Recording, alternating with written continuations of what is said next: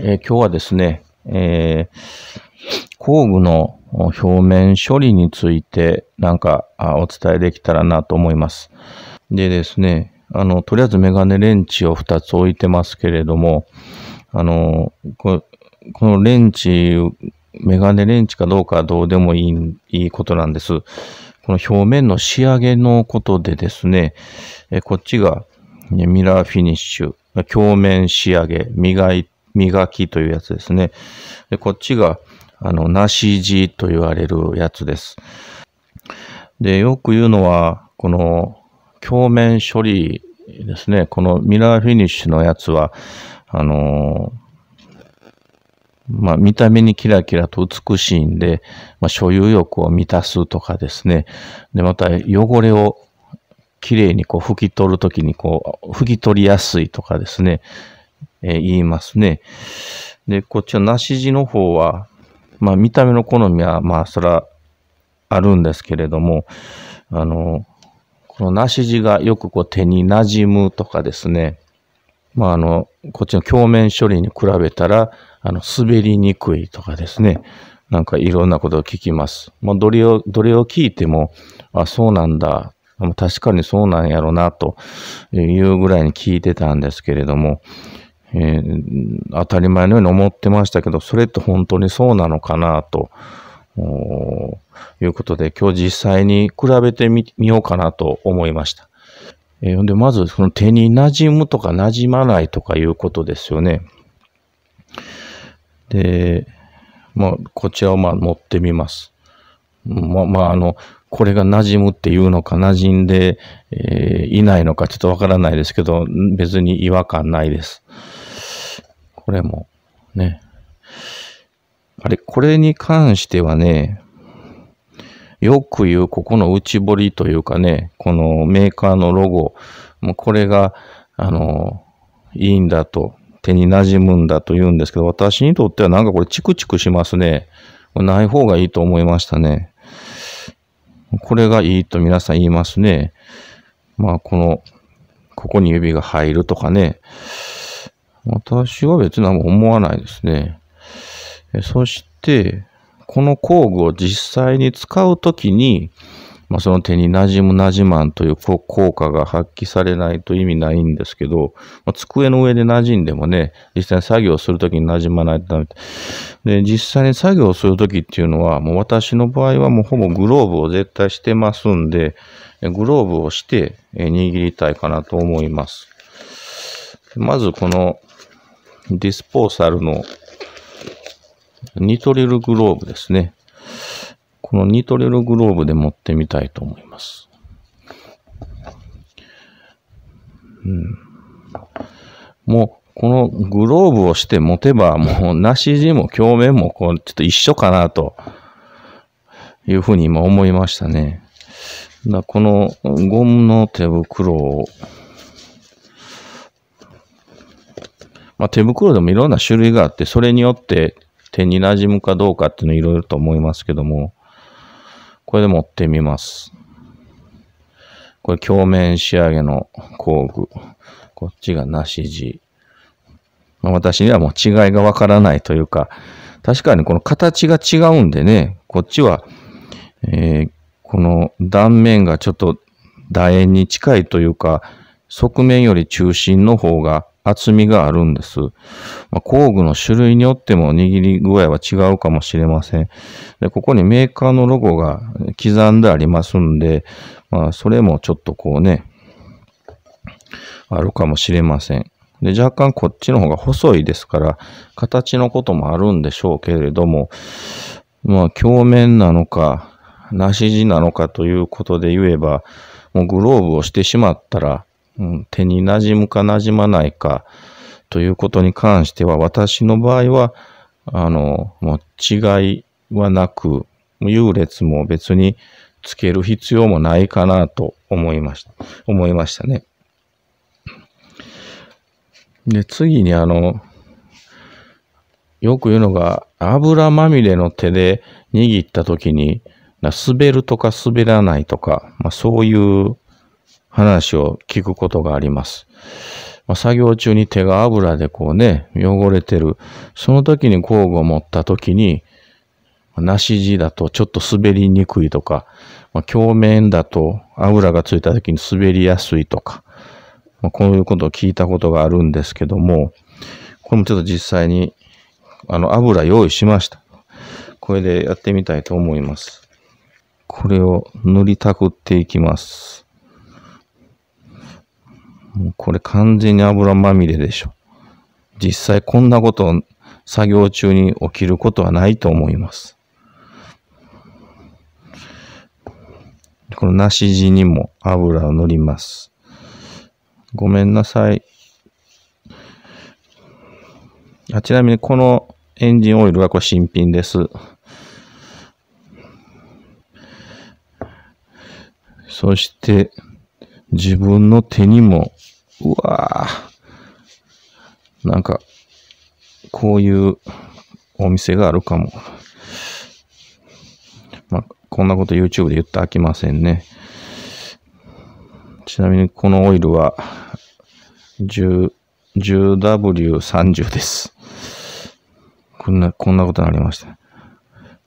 これで持ってみます。まあ、そら、そらツルツルですわね。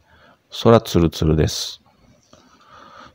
これは、あの、ミラーフィニッシュの分ですけども、まあ、これに比べて、梨地がどこまで油まみれでも滑りにくいというのか。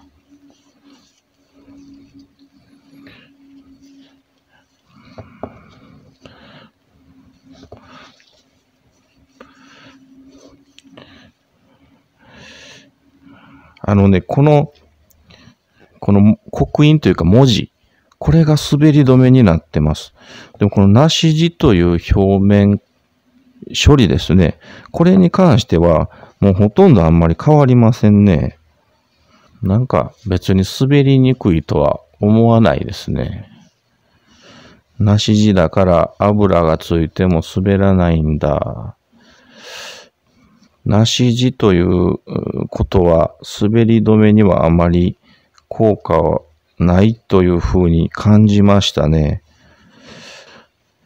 ですから、油まみれの時に滑りたくないのであれば、表面処理ではなくて、ここのこの文字というか、刻印というか、あとこの段差、これが多いものは確かに滑りにくいかもしれん。うん、滑りにくい。確かに滑りにくいです。同じ握力で握ってもこっちの方がいってしまいますね。で、次にですね、汚れを拭きやすいのはどっちかということです。でですね、まあ、とりあえず、よく聞くのは、この汚れたツールをウエスでさっと拭いて汚れが取れる鏡面仕上げというふうなことを聞きます。それでは、梨地の方は汚れが拭き取りにくいのかということですけれども、今日はこの廃油を用意しました。これはエンジンオイルです。エンえ使い終わったエンジンオイルですね。これを塗ってちょっと汚していこうかなと思います。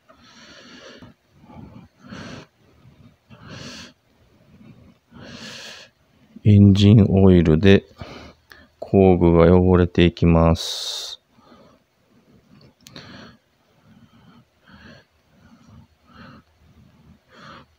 こんなに汚れることないというぐらい汚れましたね。映ってるかな？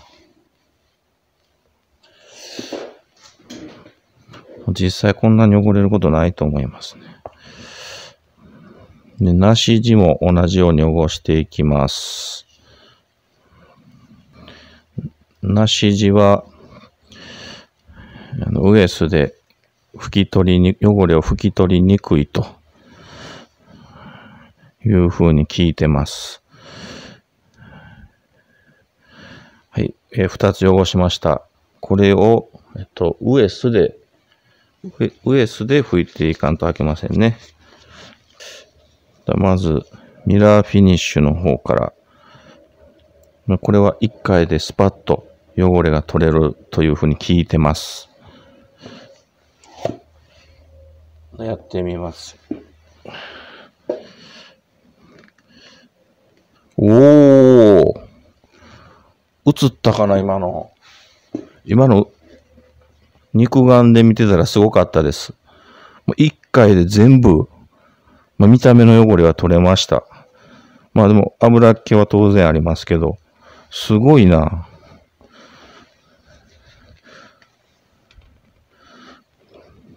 まあ、一応2回やりましたけど、2回目やっても目で見た感じはほとんど変わりません。1回でスパッと取れましたね。で、次に、この梨地の方。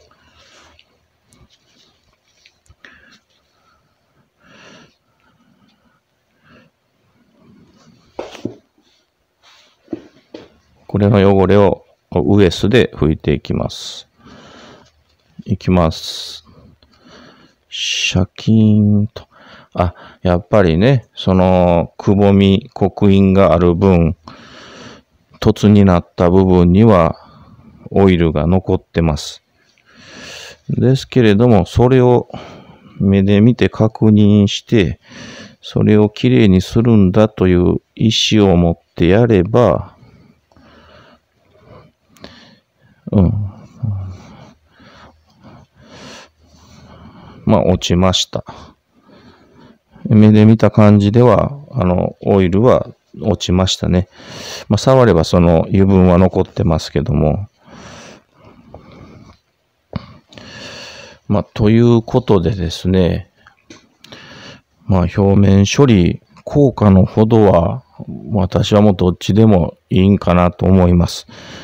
まあ、残念なことを言えば、汚れが落ちる落ちないかは、梨地とか鏡面ではなくて、表面が平らであるかどうかとまあ、それを証拠に、梨地の方でも平らな部分は、ウエスの1回で汚れが落ちましたんで、くぼんでいるところに汚れが、オイルが残ったということですから、これも、まあ、表面仕上げか梨地かということは、まあ、それほど大きな違いにはならなかったかなと。